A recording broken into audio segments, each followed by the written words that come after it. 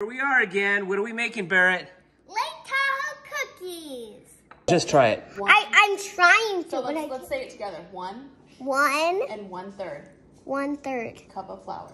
All-purpose cup of flour. spoon of baking powder, Half teaspoon of baking powder. All right, put it in. Quarter teaspoon of what? baking powder. Baking soda. One cup of potato chips. One cup of pretzel balls. All right, go ahead. And what is that?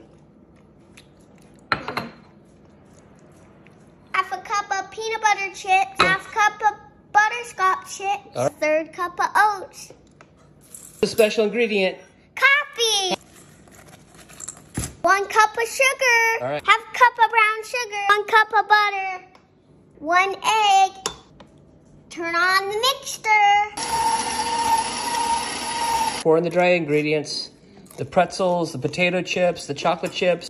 Chill for an hour. 375, 10 to 12 minutes. What did you make?